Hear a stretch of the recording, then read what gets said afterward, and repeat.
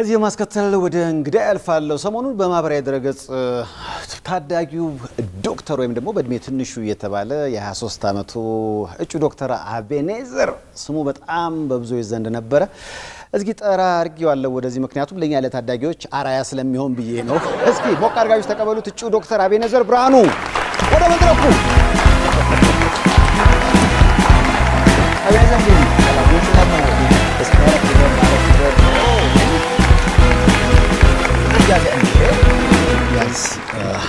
ችርስ ችርስ እንኳን ለዚህ ያበቃ ለማለት ነው። እንዴት አገኛችሁት? እጩ ዶክተር አቤኔዘር ለእኛ ለታዳጊዎች አሪያ ስለምትሆን የጋበዝኩ። 23 ዓመት 23 ዓመት በቀደም ዕለት እያየው ነበረ። አንተ ያንተ የ23 ዓመት እጩ ዶክተርነት ፎቶ ተለቀቀ። አሁን የምትመረቀው ከአንድ ወር በኋላ እንመረቃለን። በዓለም ላይ ትንሹ ዶክተር 17 ዓመት ወደ 18 ዓመቱ አካባቢ ነው። አንተ 23 ዓመት ነው። ጥያቄ አምስት ዓመት ሙሉ ምን ታደርጋለህ? በጣም አምስት ዓመት ሙሉ በጣም ኮርቼ ኮርተንብሃል። እንዴት እንዴት አገኛችሁ? አስበው ነበረ record ኡን አሻሽላለሁ ብለህ ወይስ ለ record ብለን የተማርከው ወይንስ? ምክንያቱም ሳጣራ ቤተሰቦችህም በጤናው ዘርፍ ውስጥ ያሉ ናቸው። እስኪ ስለ ቤተሰቦች ንገረኝ። mother ዬ መምህር ናት እና አባቴ ደግሞ የጤና ባለሙያ ነው እና ወደዚህ ቶሎ በዚህ ቶሎ እድሜ እንዲጨርስ ያደረገችኝ እናቴ ናት። ቤት እንዳልቆይ ቶሎ በአራት ዓመቴ ነው ወደ ትምህርት ቤት ይዛኝ ሄደችው። ከዛ ዛ ስታይም በደንብ perform ሳደርግ ለምን አይጀምርም ብላ በዛው ጀመርኩኝ ማለት ነው። የሚጸጽት የባከነ ጊዜ አለ አለ ብዬ አላስብም። ምክንያቱም ብዙ ጊዜን ያሳለፍኩት በትምህርት በማንበብ ዩኒቨርሲቲም ከገባው በኋላ ትንሽ ሕክምና ከባድ ነው፣ ጊዜ አይሰጥም እና እንደዚህ ጊዜን ያሳለፍኩት በማንበብ ላይ ስለሆነ የተቃጠለ ጊዜ አለ ብዬ አላስብም። እስኪ አሁን night club የገባህበትን ያልክበትን ጊዜ ታስታውሳለህ? night club ገብቼ አላውቅም። እሺ የለም አይ እንደዚህ አይነት ነገርም አድርጌ አላውቅም። አዎ የፍቅር ህይወት አሁን ለምሳሌ ብዙዎችን አንዳንዴ ብዙ እንዳይማሩ ወደፊት እንዳይሄዱ የሚያደርጋቸው በፍቅር አንዳንድ ፍቅር ደግሞ አለ ፍዝዝ የሚያደርግ ለትምህርት የማይሆን እሱስ አጋጥሞ አያውቅም? እንደዚህ አይነት ነገር አጋጥሞኝ አያውቅም። ስለዚህ ትምህርትና ትምህርት ብቻ ትምህርት ላይ ነው በብዛት ያተኮርኩት። አልፎ አልፎ ደግሞ ከጓደኞቼ ጋር መዝናናት፣ መጫወት ትጫወታለህ። አዎ ከዚህም ጊዜ ላይ ከዚችም ላይ ወይ ፌስቡክ አለ አለኝ ግን ለፌስቡክም ጊዜ አለ። አለ። ደስ ይላል በጣም። እሺ ምንድን ነው ግን ብዙ ጊዜ አሁን ፌስቡክ ላይ ማህበራዊ ድረገጽ ላይ የምታጠፋው ጊዜ አሁን በቀን ውስጥ ምን ያህል ምን ያህል ይሆናል? በጣም ጥቂት ነው። በብዛት የማሳልፈው ከንባብ በማነብበት ሰዓት ሲደክመኝ አይምሮዬን ፈታ ለማድረግ አይጥ ነገር ነው እንጂ ማድረገው ብዙ ጊዜ እንዲህ አላጠፋ ኖ ያንተ በ23 ዓመት እንግዲህ ወደ ዶክተር መሆንን በተመለከተ ፎቶ ተለቀቀ። ጅማ ጅማ ውስጥ ያለ ፎቶ ቤት ነው። እዛ ሄደ ፎቶ ተነሳ። ፎቶ አንሺው በነገራችን ላይ ስደውለት እኔ ራሴ ሲመጣ ለዶክተርነት አለመሰለ እኔ በቃ ምክንያቱም አልጠበቅኩም። ሳየው በጣም ትንሽ ልጅ ነው አለ። ከዛ ያ ፎቶ ተለቀቀና ነው ብዙዎች ያወሩት። እንደው ፎቶ ከተለቀቀ በኋላ በአንተ ጉዳይ ላይ የተሰጡ የሚያስቁ አስተያየት አላጋጠመ? በጣም ከመድሜ የተደነቅኩት ነገር ብዙ የኢትዮጵያ ሕዝብ እኔንም እንደ ልጆቹ የሚያዩኝ እናቶች ምናምን comment ላይ ሳይ እደግልን ከአይን ያውጣ ምናምን የሚል comment አሁንም እደግ ብለናል አይደል? ገና ገና። እኔ ግን ለየት ያለ የሚያስቅ comment ያየሁት ይሄንን ነው። ይኸው እስኪ ያደለው በ23 ዓመቱ ዶክተር ይሆናል። እኔ እዚህ ቁጭ ብዬ like ለቃቅማለሁ። like የሚለቃቅሙ ወጣቶች እንዲጸጸቱ ሁሉ አድርጋቸዋል። ከሚሴ ነው ባቲን የተወለድከው? ባቲን የተወለድከው ከሚሴ ያደግ ጅማ ተማርክ፣ ተመረክ፣ ኢትዮጵያን ታገለግላለህ። ይሄ ነው በቃ መሆን ያለበትም ይሄ መስለኛል። አሁን ዩኒቨርሲቲዎች አካባቢ አንዳንድ ነገሮችን እንሰማለን። ያው እንግዲህ የተለያዩ ጥያቄዎች ይኖራሉ። ጥያቄዎች ሲኖሩ ደግሞ በመነጋገር መፍታት ጥሩ ነው እና ከዛ አንጻር አንተ በዛ ህይወት ውስጥ ነውና ያለፍከው ምን ማለት ትፈልጋለህ? ማለት የምፈልገው ነገር ያው ዩኒቨርሲቲ ከተለያየ ቦታ ተሰብስበው የመጡ ሰዎች ያሉበት ቦታ ነው።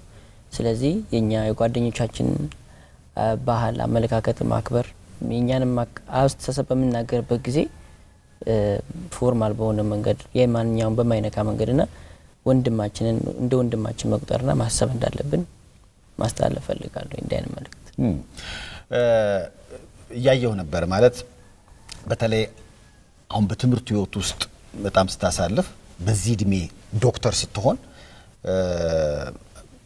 በቃ የትምህርት ነገር ወይንስ አቤኔዘር ከዚህም በላይ ለእውቀት ይተጋል?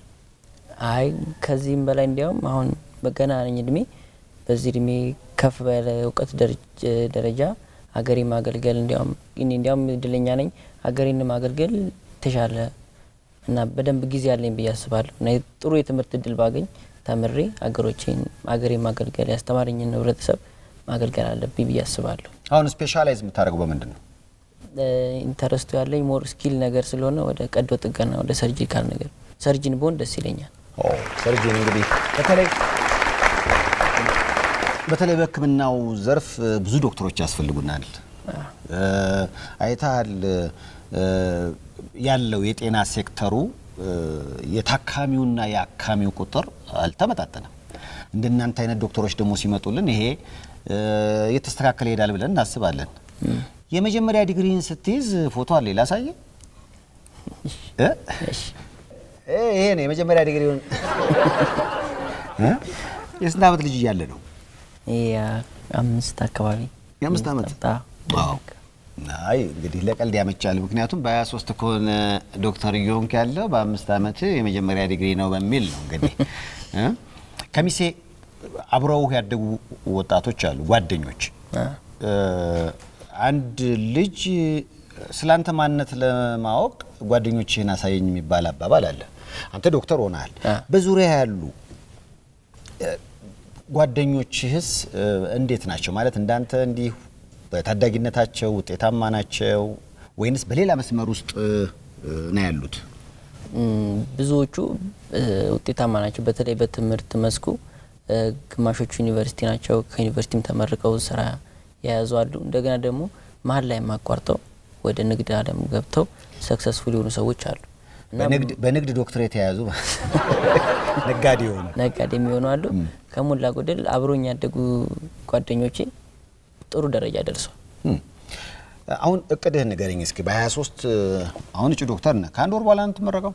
ከአንድ ወር በኋላ እንደውም ፎቶውን እያየው ነው እንግዲህ በጣም ልጅ አንዳንዶች ገና ጺም እኮ አላበቀልክም ማለት የለም ግን የእድሜ ነገር በደንብ ተሰልቷል። ትንሽ የተሳተ ነገር የለውም እ? የለውም ምክንያቱም ጺም ራሱ አንዳንዴ 23 ሲኮን በደንብ 23 አለ። አንተ አሁን ገምት ባልን አንተን 19 ወይ 18 ልል ይችላል። ብዙ ሰዎች እንደዛ ይላሉ። ይላል። አዎ። ብዙ ሰዎች ግር ይላቸዋል። መምህሮችም ታካሚዎችም ነገር የሆነ ግር ብለው ነገር ሊጠይቅ መጠየቅ ነገር አለ አስረዳለሁ።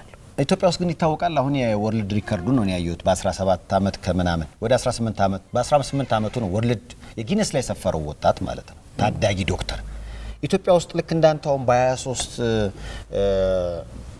ዶክተር እንደሆንከው ሁሉ በእድሜ ታዳጊው ዶክተር ይታወቃል። I don't know እኔም ሰምቼም አላውቅም። አይ በማህበር እንድትደራጁ ሰብሰብ ብላችሁ እንድትመክሩ። ስለ ወደፊት እቅድ ንገረኝ እስኪ።